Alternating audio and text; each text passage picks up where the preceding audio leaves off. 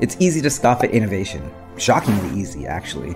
And all the banter in the world about valuations and the death of tech strikes me as actually just a temporary return to that mentality. We're all experiencing speed bumps to be sure, but you being able to sit in front of a computer, sketching out software, yeah, you can still go out there and create something a billion people use.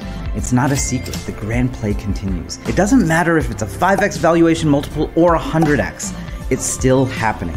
Software continues to rewrite every kind of human activity business, education, finance, commerce, retail, logistics you name it, and there's something there with a new type of technology or software that's gonna make it better, faster, cheaper. The prognosticators, they say it's up, they say it's down.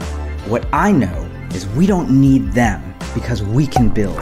We can make things people want, we can get profitable, and we can survive in good times and bad. It's time to build.